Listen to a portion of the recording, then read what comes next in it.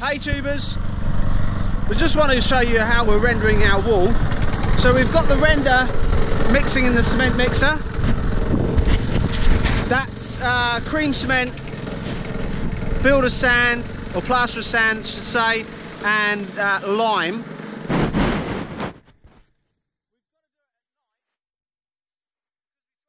And, and the render hated being um, mixed when it was um, when it was warm. So we've opted to go at night, and it's actually working really well. And doing night shifts isn't too bad.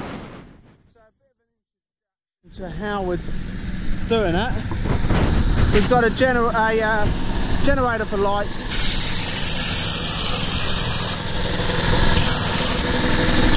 One fairly big air compressor. And then we've got the stucco gun. This is the stucco gun.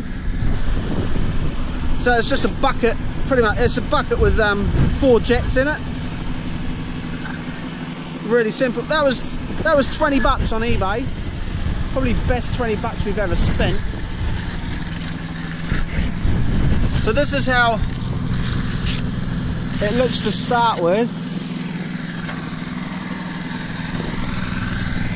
And then that's the finish we get. Probably not getting a very good look at it.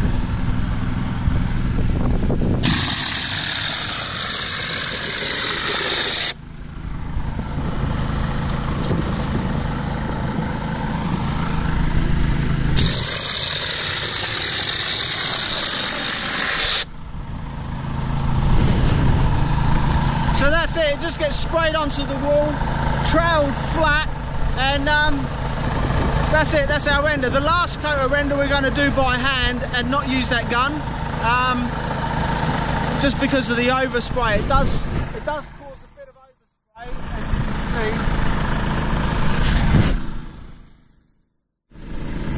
And there's also um, there's also a, um, a fair bit of waste on the floor which we can't really reuse so it's, it's good for filling in but not for the final coat there you go night shift. Cheers